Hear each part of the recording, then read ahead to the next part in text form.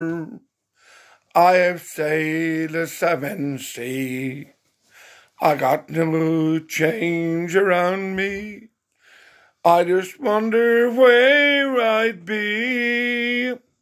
I met a girl that I did not know, but she won't leave my mind. And where she lives, and where she's gone, I guess I never find. She wore a silver locking with a picture of her home. Just a lonely little cottage on a hillside all alone.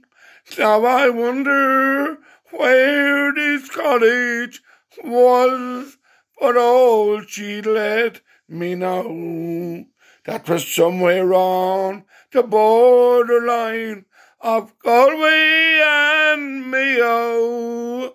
And if I ever find it, how happy I would be with a addition of my memory that would haunt a memory.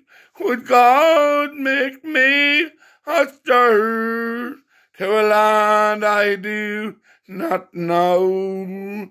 In a little a cottage on the border of Mayo, up by the Hornets King. Bup, bup, bup. Yeah!